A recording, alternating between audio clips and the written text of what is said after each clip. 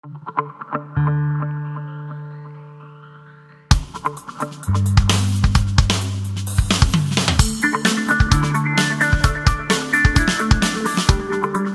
UNED.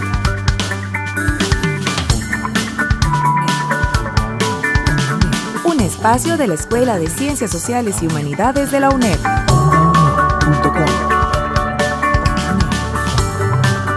Hasta donde estés. Onda UNED. Acortando distancias.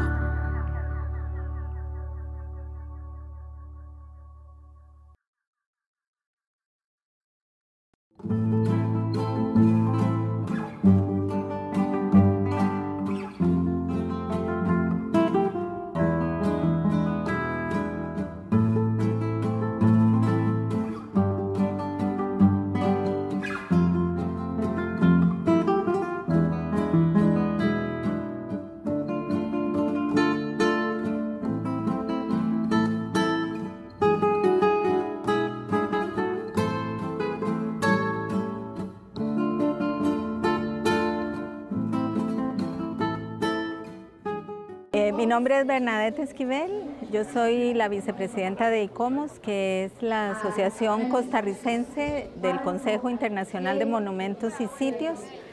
Eh, estamos aquí en Marsella, eh, muy contentos de celebrar el día 18 de abril, que es pues la conmemoración de, de la celebración para todos los monumentos y sitios en el mundo. En este momento todos los comités de muchos países estamos haciendo esta celebración. Para nosotros este, esta actividad que estamos celebrando hoy en nuestra comunidad es, eh, de, la verdad que es un privilegio, es, es algo que, que nos llena de mucha alegría y mucha satisfacción porque tener, poder celebrar en nuestra comunidad los 100 años de historia del puente del río Toro, sobre el río Toro, y también que, que lo pudiéramos proclamar eh, eh, patrimonio histórico cultural.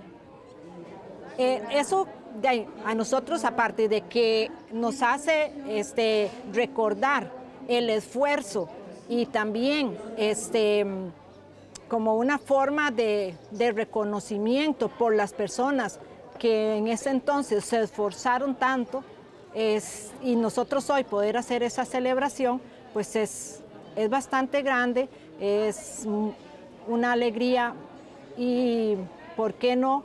Este, también sentir ese orgullo de que es algo por lo que la comunidad se da a conocer. Esta declaratoria fue solicitada por personas de la comunidad desde hace muchos años. Los procesos de declaratoria muchas veces no son tan rápidos y tan ágiles como quisiéramos, eh, pero este, lo importante es que se mantuvo esa, eh, esa intención de que se lograra la declaratoria. La declaratoria de patrimonio es importante porque por ley protege la demolición, digamos. Pero también tenemos que entender que aunque no estuviera declarado, si tuviera este interés de las comunidades, este reconocimiento del valor histórico, igualmente sería un patrimonio local importante. Entonces la declaratoria nos ayuda y también debe hacer sentir a la gente eh, pues mucho más eh, conectados, ¿verdad?, con, con, con la importancia. Eh, otro de los temas de que esté declarado patrimonio es que tiene mayor divulgación, ¿verdad? Y muchas veces no podemos proteger o conservar lo que no conocemos. Eh, las declaratorias ponen este, estos edificios en, en, en una, conocimiento mayor del público. Y la verdad, viendo el puente, haberlo conocido y conocer pues, su historia, eh, ha sido muy, ¿verdad? Muy, muy, bueno para nosotros como organización eh, que trabaja por la conservación del patrimonio, eh, de ver cuánto lo quiere la comunidad. Hay muchas declaratorias que pasan todo un proceso, ¿verdad? precisamente porque eh, es una labor de recopilación de información que tienen tanto los historiadores como los arquitectos. Y aparte de eso, eh, los, los dueños de los inmuebles también tienen que estar de acuerdo para poder eh, este, declarar el bien, no poner obstáculos precisamente, y esa es la labor que nosotros tenemos desde el Centro Patrimonio, concientizar a las comunidades y la importancia de que es un inmueble que les va a dar valor a la comunidad. No va a ser, digamos, algo que, eh, va a tener un efecto negativo, más bien por el contrario, positivo. Entonces estamos trabajando precisamente en, borrar esos mitos que tienen eh, de la conservación del patrimonio. Entonces es una labor ardua y que a veces dura su tiempito, ¿verdad? Precisamente porque pasa varios procesos. Y eh,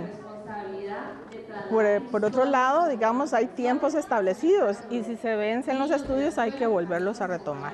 Entonces, por eso fue un largo proceso en la declaratoria de este mm, puente, esta joya arquitectónica que tiene eh, dos comunidades, que son Río Cuarto, ¿verdad? Y Marsella.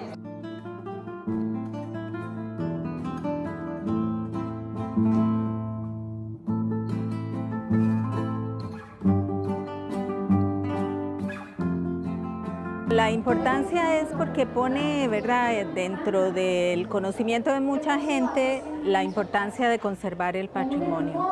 Entonces esta fecha nos recuerda que existen el patrimonio en sus diferentes manifestaciones y em, el hecho de celebrarlo acá en Marsella, en el puente eh, sobre el río Toro, eh, tiene una significación doble, ¿verdad? Primero, porque acaba de ser declarado patrimonio y segundo, porque la comunidad ha demostrado, o las comunidades, ¿verdad?, de, los, eh, de Río Cuarto y, de San Carlos han demostrado eh, que, que para ellos significa algo y eso es la esencia del patrimonio, o sea, que tenga una significación cultural para las comunidades.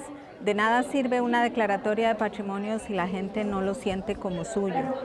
Entonces, esta celebración ha dejado claro que sí hay una gran significancia, que pues la gente de las comunidades cercanas y de Marsella eh, reconocen ese valor y, bueno, eso es muy satisfactorio para nosotros porque eh, es el ideal que todas las comunidades eh, reconozcan ese patrimonio, por pequeño que sea, tiene un gran valor. Bueno, es maravilloso, creo que refuerza en gran medida el tema de la identidad del río cuarteño, que es algo que hemos estado tratando de trabajar desde que somos cantón. Entonces ya tener un patrimonio, algo que nos identifica como Río Cuarto, además de nuestras bellezas naturales y nuestras lagunas, nuestras lagunas además fortalecen el tema turístico bastante, entonces es de, mucho beneficio para, para el poblador río cuarteño y para nuestros vecinos de Marsella, ¿verdad?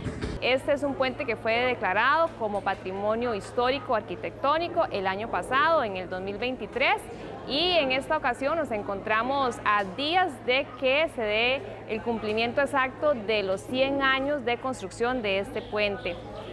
Hemos trabajado una coordinación para que se hiciera esta celebración en el Día Internacional de los Monumentos y Sitios y haciendo un recordatorio y honrando los esfuerzos y trabajos de las diferentes familias que hace más de 100 años se unieron y trabajaron en equipo para que se diera la construcción de este puente, reemplazando los antiguos que eran de madera, que era un puente de hamaca, donde también se dieron accidentes y algún vecino perdió la vida también eh, junto a sus animales cuando este puente colapsó.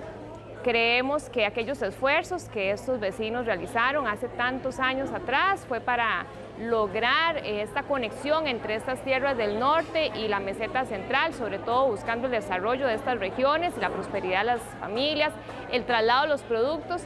Y hoy pudimos eh, recordar estas vivencias porque también participaron el grupo de boyeros de Venecia de San Carlos, llevaron sus carretas y sus bueyes, bajaron al puente, pasaron al otro lado del puente, que es la conexión entre San Carlos y Río Cuarto, que se utilizaba en aquellos tiempos y que hoy es un sitio histórico. Hoy nos hemos presentado aquí junto con un grupo de colegas y compañeras de trabajo que eh, desean externar y documentar toda esta serie de actividades culturales que se han desarrollado en los pueblos y que se siguen desarrollando como parte de rescatar aquellos monumentos que existen en los lugares que tienen algún eh, pasado histórico que significó mucho dentro del desarrollo de las comunidades, especialmente y concretamente en Marsella de Venecia está el puente de piedra o puente hecho hace 100 años,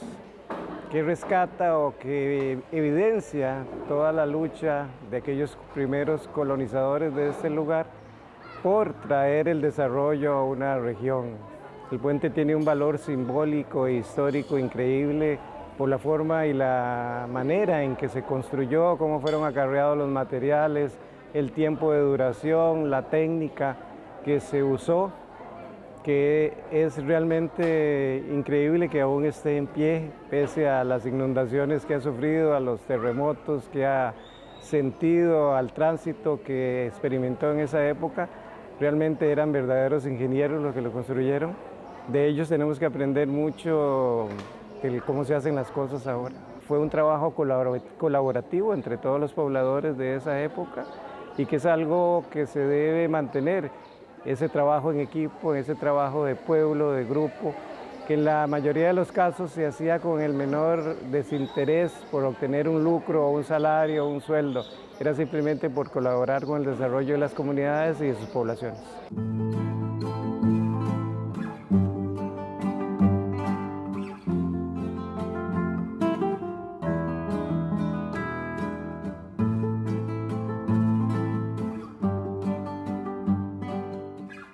Ya, le voy a decir una cosa, es algo que uno pasa y como dice el dicho, le pone la piel como de un gato a uno. Y se pone un poco nostálgico de ver las cosas que uno pasó. A caballo no sé cuántas veces pasé. Ya cuando hicieron el camino a Río Cuarto, ya que era la constructora Solís, que hicieron el puente grande ahí en, los bajos de Maroto, ya no volvieron a pasar por acá. Después de eso, hasta hoy, es la segunda vez que paso con bolillos, después de 50 años. Qué cosa más bonita eso que hubo hoy, muy lindo, porque uno se tiene ese recuerdito que pasó, y ahí estaba, ¿qué le digo? 16, 17 años, por ahí andaba, cuando logré pasar por ese puente. Y volver a pasar hoy después de 70 años de edad, ya de mío, sino ya después de, de 50 años, digamos, ya es muy lindo para lindo. Sí, del puente cuando lo hicieron no, porque yo no existía siquiera. No puedo decir nada de eso. Las tantas veces que pasé por el puente para un lado y para otro, sí, de eso sí me acuerdo, ¿verdad? Que pasaba con bueyes o a caballo, que iba, supongamos, a San Miguel de Serapiquí a traer, como aquí no había como le dijera, a dónde comprar para los, para los negocios. Entonces yo iba con bestias a San Miguel de Zarapiquí a traer carga, a traer azúcar, a traer frijoles, a traer arroz. Y, yo me traía dos bestias cargadas de, de, esas cuestiones. Y esas eran las veces que pasaba. También pasaba con bueyes del agua allá, del allá del río, hay unas planadillas. Nosotros sembrábamos maíz con papá, maíz, frijoles, arroz, y las cargábamos, las, eh, las cargábamos de, de, lo que fuera, de todas esas cosas que les digo. Y veníamos, pasábamos por ahí. Como ese camino era bastante feo, bastante feo, y yo estaba muchachillo, no tenía el cuidado que se ocupaba. Volqué la carreta cargada de maíz, dos veces la volqué. Me trepaba, dejaba los bueyes treparse en una piedra donde se trepaba la, rueda de la carreta en una piedra más alta, como así, ah, caía. No fue solo eso, papá era muy bravo. Y era que jugueteaba, me, que jugueteaba me pegaba.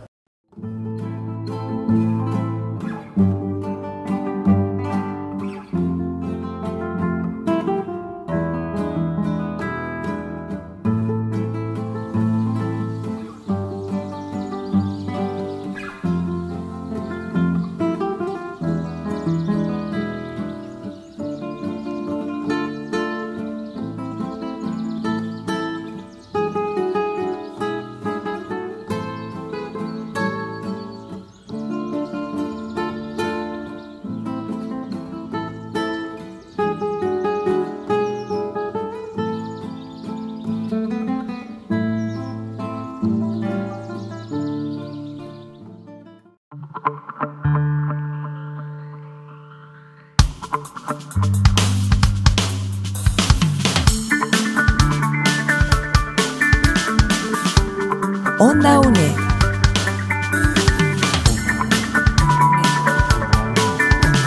Un espacio de la Escuela de Ciencias Sociales y Humanidades de la UNED.